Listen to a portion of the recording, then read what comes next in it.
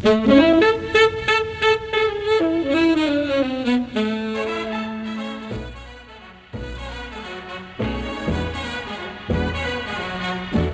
I'm Doug Rougeux. And I'm Casey Carle. And together we are Two Guys in Lab Coats. And this is a home video workshop. In this video, we're going to teach you something fun and neato and coolo and wackio. All right, old Duggo. This is going to be fun. It's a workshop, but we're not going to tell you exactly what it is yet. First, we're going to tell you what this video is not, about. This video is not about hat tricks.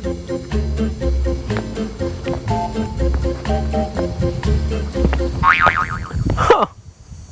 This video is not about juggling.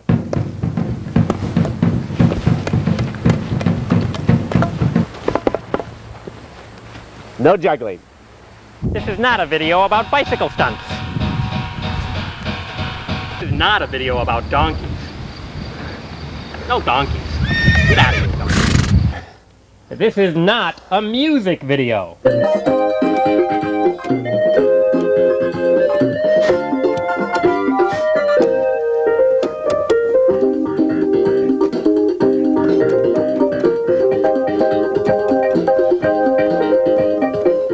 Video is not about two guys in lab coats blowing bubbles into beautiful and artistic designs. Eh, This video is about two guys in lab coats blowing bubbles into beautiful and artistic designs. Oh! then we should get started. Let's go! Let's go! Let's go! I can't believe I blew my lines. And now we're ready to begin our home bubble workshop. Casey and I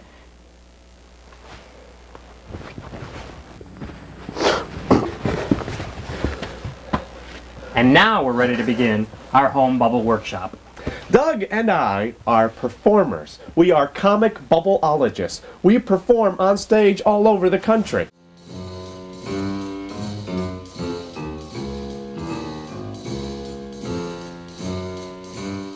We will share with you today Bubbleology Secrets. We're going to teach you how you can create pictures with bubbles. Sculptures, works of art with bubbles stuck together until they look like something. And the best thing about it is you can do it in the house. There's no mess involved. You can create bubbles in the home in a controlled environment, and your parents won't ask you to go outside. Remember about the mess. Keep it neat and clean and follow along with this tape. And by the end of it, you will be a bubbleologist too. Now we're going to tell you what you need for the workshop. It's not complicated. They're very simple tools. And here they are. First, you'll need some bubble juice. Homemade, like we'll show you in a moment, or a good store-bought kind. You'll need a cookie tray or a similar flat tray. Cookie trays are probably the best thing for you to use. Nice and flat, lots of space. You can make lots of really neat designs on a big open space. You can use other things too. Look, a cereal bowl, a pie tin. You will need a straw. Bendable is better than a straight straw. Straight straw, bendable straw. Bendable straws have that little elbow thing that goes really cool. And when you're working with bubbles, it's great to be able to put the short end in the soap. And you will need a bubble wand from a regular bubble jar. Or you can make your own with a pipe wrench. Well, what do you mean? Oh, oh. Well, you can use a pipe cleaner. Bubble wand? everyone has one of these probably. If you don't, you can make one from a pipe cleaner. Pipe cleaners, bend them around, create an opening at one end, a little hoop, and before you know it, you've got your very own bubble wand. It's as simple as that. Uh-huh. You will also need a large towel for under the tray to avoid that mess. Towel. Fashion show. Towel. Okay. And of course you're going to need patience and practice to learn all the amazing things that we want to teach you. And that's all, folks. Now I can't show you patience in practice. That's something that has to come from inside of you, but I'm sure all of you have it. Now Doug and I promised a special homemade recipe that we use to create bubble art. We're going to go up to the laboratory and mix that up now. Actually, it's the kitchen. Let's go. And I promised you a recipe that you could write down, so here it comes. Stand by to pause the video and write this down. Here it is.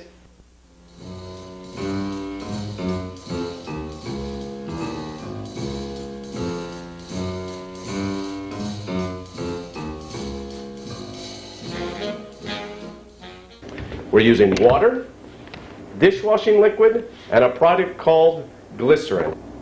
Glycerin can be found in most pharmacies. We're going to use the water first to fill up to 10 ounces. Try not to spill. 8, 9, 10 ounces. If I add 1 ounce to 10 ounces, I should have 11 ounces when I get done. 11 ounces of liquid. You don't want to mix it hard to create foam. Now we've got our solution, we need to be able to transport it, carry it from the kitchen to wherever we're doing our work. I got an idea for that, Casey. Oh look, Doug's here. What's your idea for moving the solution? We can find a container in the recycling bin that we can use. Ah, yes, a jar. You can find a jar in the recycling bin, use it. Take the lid off and Clean it up. Clean it out. I You- can clean it out. Yeah, you don't want things left in the jar that'll mix in the solutions. Doug's going to wash it out with warm water and dishwashing liquid. You don't want to use anything but what you're using to make the bubbles with, because you don't want to get anything in there that's not supposed to be in there. That's what makes good solutions. Hey, we're bubbleologists. We have figured all this out, and now we're telling you. You want a sealed container, not only to keep it from spilling, but so the, the solution doesn't evaporate. It's made up of mostly water. Water tends to evaporate into the air. And if that happens, your solution will get thick and gooey and syrupy, and you can pour it on your pancakes. But that's not good for bubbles. Bubbles need to have a nice recipe that doesn't evaporate. So keep it in a sealed container, and it will last you a long time. I'll need my solution for the workshop, the wand and the straw we were talking about, Wands, excellent. A towel, Yeah, towel's good. and any kind of flat little dish. Beautiful. That's a good choice. Doug's going to go set up in front of the television so he can watch the video and do the creations that we're going to teach you. You set up in front of the TV with your towel and everything. Take just enough bubble soap to cover the bottom of the pan. Cap it so you don't spill it and you can use it later. Take your wand and your straw. Do a little propeller thing. And you're ready to play along. Okay, now that you have everything you need for the workshop and have mixed or bought your solutions, we are ready to begin to create bubble art. We're Now ready to Doug begin. here- Yes, we're ready to begin. Oh, uh, Doug, please, not on the table. Sorry. Uh, I was talking about the cat, Doug. The Oh. cat. Okay. Thank you.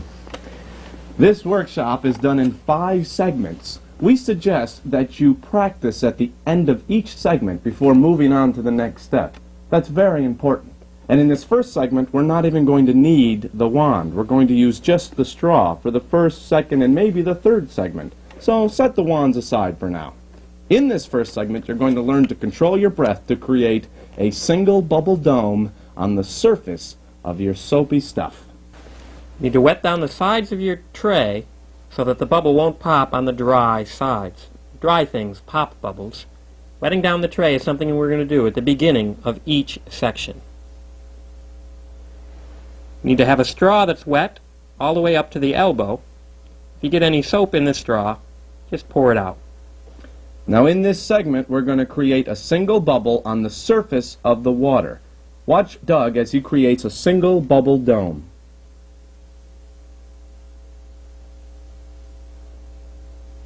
Good, nicely done.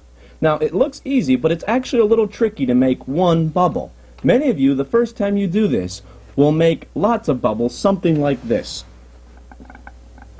this is fun, but it's easy. It doesn't take any skill. You can fill the whole dish with bubbles like this. It's just that it's messy and will keep you from being able to do the things that we want to teach you. Get rid of those bubbles using your dry fingers.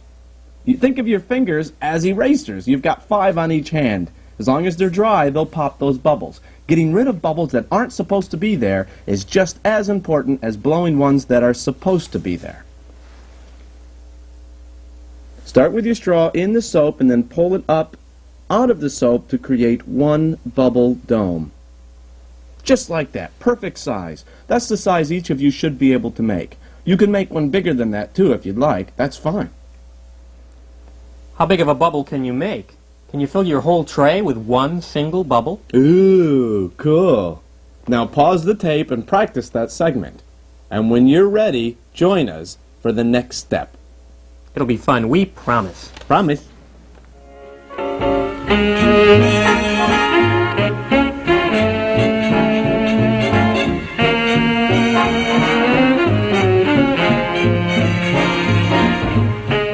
Now that you can make a single bubble with controlled breath on the surface of the bubble soap, we can begin to link them together to make simple bubble pictures. Right, by sticking different size bubble domes together until they look like something. It's as simple as that. But remember, always wet down the side of your dish when it begins to become dry. That's very, very important. The bubbles will pop on a dry dish. Now the first bubble picture you can make has a bubble dome right in the center of your dish with a little one attached to the side of it. And what does it look like to you? I think it looks like an igloo, and this is where you go in over here. Yeah, or this can be a turtle with his head sticking out of the water. Yeah? Oh, no, no.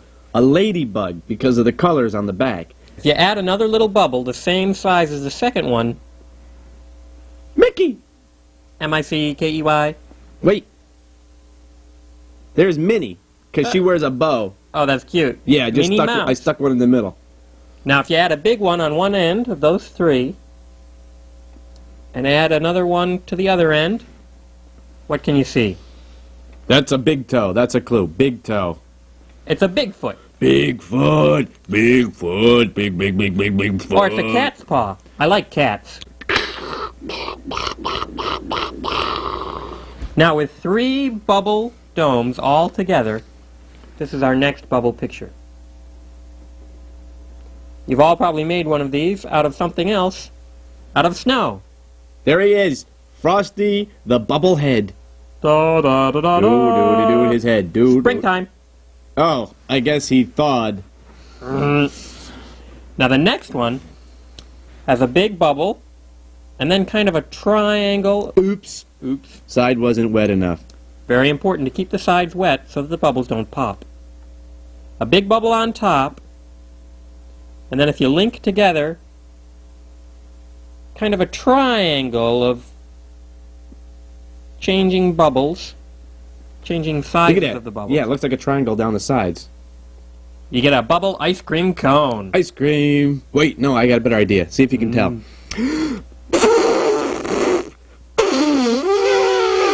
That's an elephant. Elephant trunk right here. Sure. Could be the Eiffel Tower. It's kind of falling over. Ah! Now this is the toughest one. Start fresh.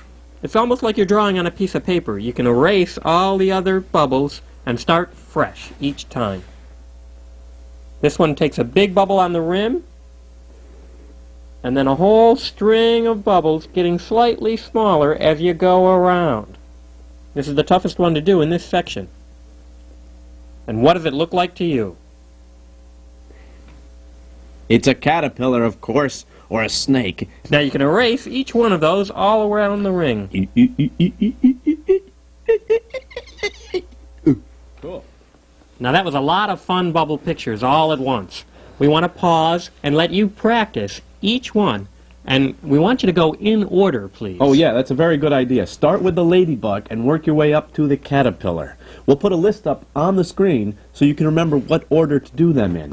When you're done practicing each and every sculpture, join us for the next segment of our Bubble Home Workshop. We'll be waiting.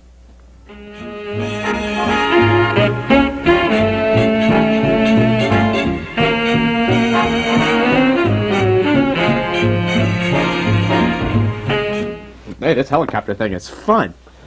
Oh, hey, we're back. We're back, and we're ready for the next segment. Yes, this segment is perhaps the most challenging of the sculptures on the surface of the solution. It requires a little extra skill and a little extra practice. Ready? You guys are ready for it. What we're going to be doing is making a bubble inside of a bubble and a square bubble. Get out.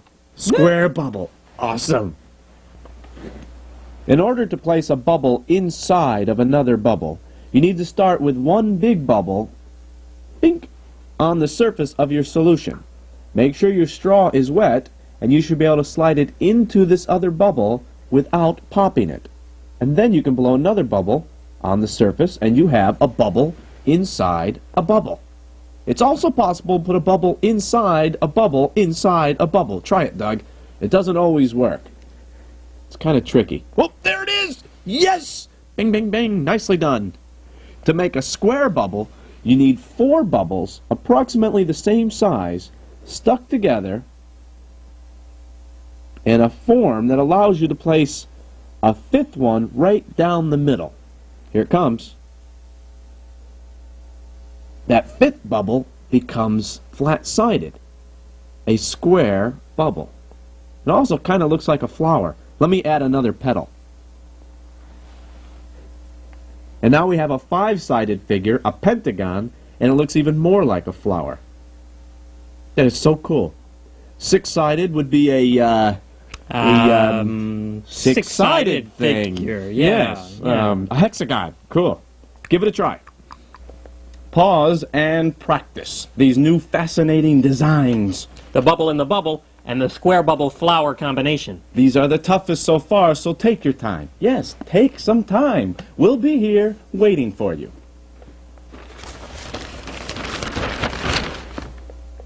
Arr.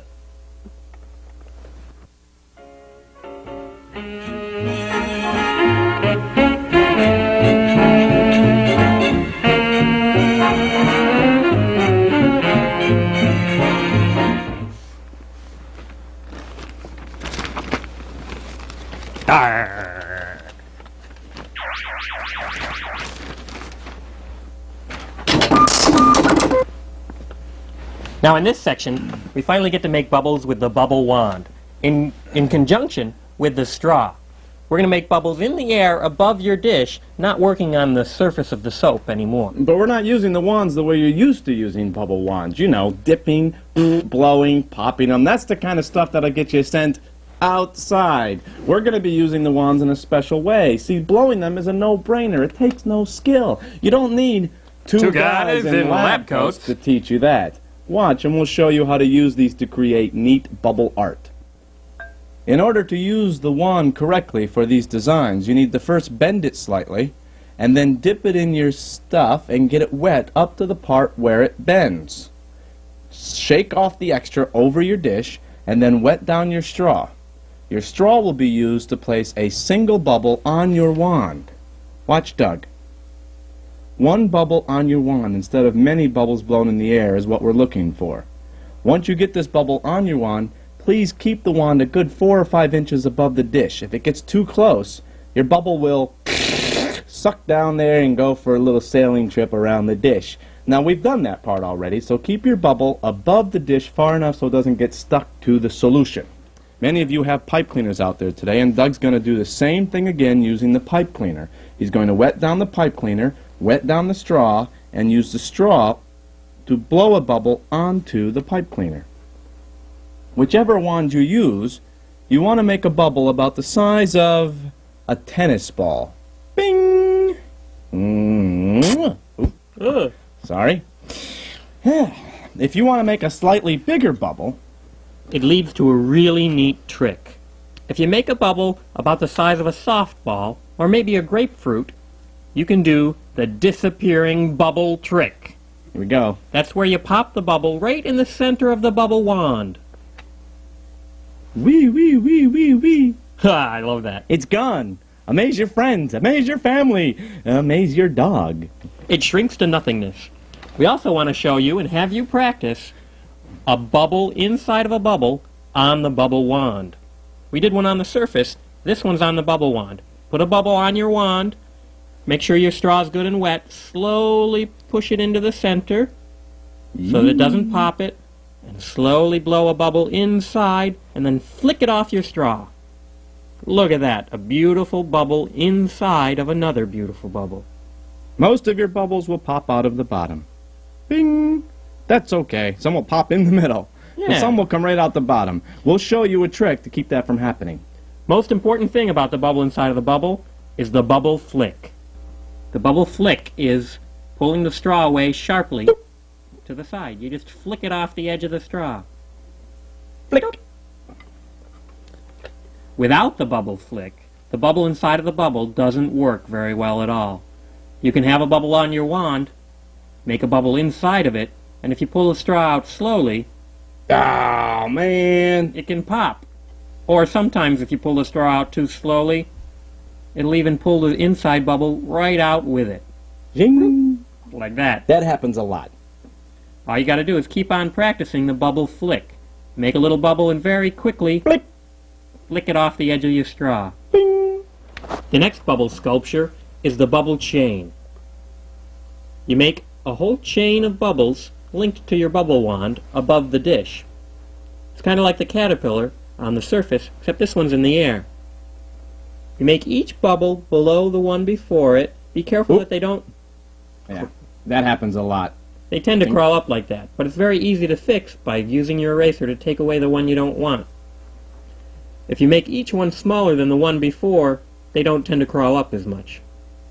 Look at that. A bubble chain of Cool. one, two, three, four, five, six, seven bubbles. Yeah. It looks like a tail. Yeah, it's a Yeah. tail. Let's pin the tail on Dougie. Dougie, Dougie, Dougie, Dougie, Dougie. No. Oh, right, right, right. Okay. Boink, boink, Hey, boink, hey. boink. Doink, doink. Doink. Ah. But now, the most complicated and coolest bubble sculpture of them all. I love this one. It's the, bubble spaceship. You take two bubbles and put them on your bubble wands. About the same size, one underneath the other. And then you add a ring of bubbles right around the center. Doug's adding little bubbles to the middle of my two bubbles, like a belt. Once you've made enough bubbles to connect one end to the other, you've created the center of the spaceship, which will allow you to use your wet straw to push the spaceship and give it a spinning action. Or, Spinning through the air. You can blow through the straw to get a real fast spin. that's like warp drive. Warp drive, Scotty. Oop. We've given you quite a lot to do, so we're going to pause and let you practice. Go from simplest to hardest, all the way from the single bubble on the wand up to the incredible bubble spaceship. You can do it. Take your time. We'll give you a list so that you can go in the right order. Yes, hello. Do you deliver? Great! Hey, Doug, what do you want on your half?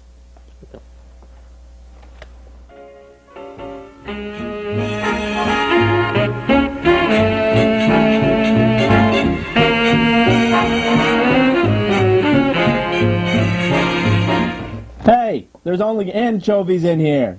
Oh, that.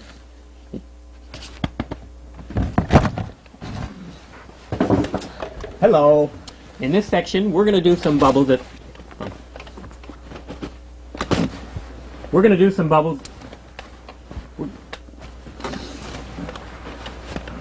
In this section, we're going to do some bubbles that you can do with a friend of yours. Right. These are bubbles you can do with a bubble buddy. Bubble buddies like Joe and me. It's Doug. What's Doug? I'm Doug. Oh, you. Oh, you're Doug. I'm Doug. Doug and me. You need two wands, two straws, but only one dish of bubble soap between the two of you. The first game you should try with your bubble buddy is something we call the bubble toss and catch. Doug will blow a bubble off his straw, and I will catch it on my wet straw, and then return it to the dish. He'll continue blowing bubbles as quickly as he can. I will try to catch them and bring them back to the dish. When I miss a bubble, it'll become Doug's turn to try to catch. Oh, I missed. Nicely done. You Lot kept him fun, over the dish, but that was good. That was very good. He would try it next, catching, but instead we're going to move on to. two bubbles inside of a bubble. With Bubble Buddies working together, you can simultaneously put two bubbles inside of a big bubble. You just both have to do the bubble flick. It's a little tricky. What? Yay, there Hey, they they are. combined. Cool. Now we're going to try to make two different bubble chains. We'll each make our own chain and then connect them together. Wait till you see what happens. You need about the same number of bubbles in each chain. I'm going to make four. When you each have four, combine them together at the bottom by picking up the bottoms, and then you've made A bubble smile with that big toothy grin. Cool. Hey. And now if you gently pull apart from each end like a wishbone, It's a bubble contest. How many? ah, I almost had six or seven of them. But I guess got one. Yes, I guess you had But the mine, most. mine lasted. Cool. Mine lasted. So what did we show you? We showed you how to use bubbles together with a wand and straw to put bubbles inside of a bubble together. We showed Bubble catch. Oh yeah, the toss and catch, and how to create two chains combined together to make a bubble smile, ending with the, The bubble wishbone. wishbone. There are other games you might be able to create with your bubble buddy. Whatever you create, of course, keep it clean, keep it neat, and keep it over the dish and towel. Have fun.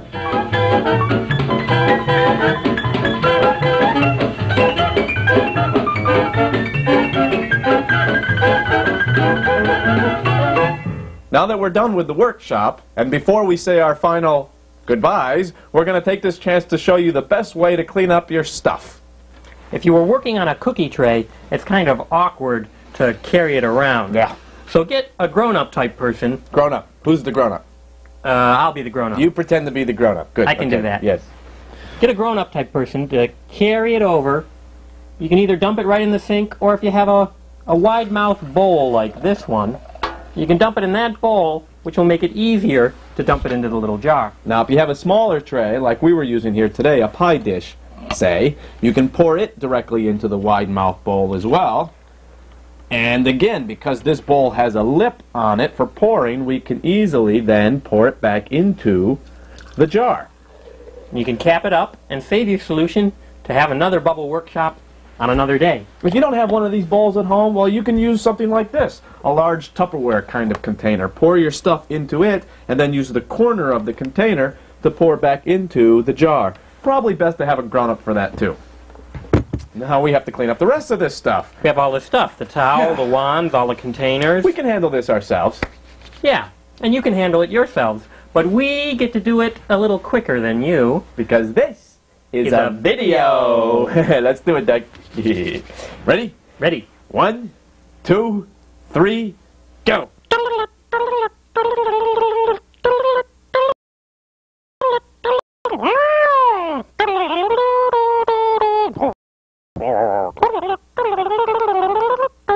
Just wanted to take a moment here at the very end of the Home Bubble Workshop to say Thank, you. Thank you for having us in your home to teach you these amazing bubble skills.